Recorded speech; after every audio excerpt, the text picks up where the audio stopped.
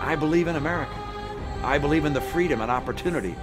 We recognize the right of all people to believe as they want and not to impose our beliefs on other people.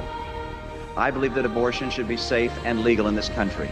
I believe that since Roe v. Wade has been the law for 20 years, that we should sustain and support it. This effort isn't about a person. It's about the cause of American freedom and greatness. Thanks so much. I'm Mitt Romney, and I approve this message.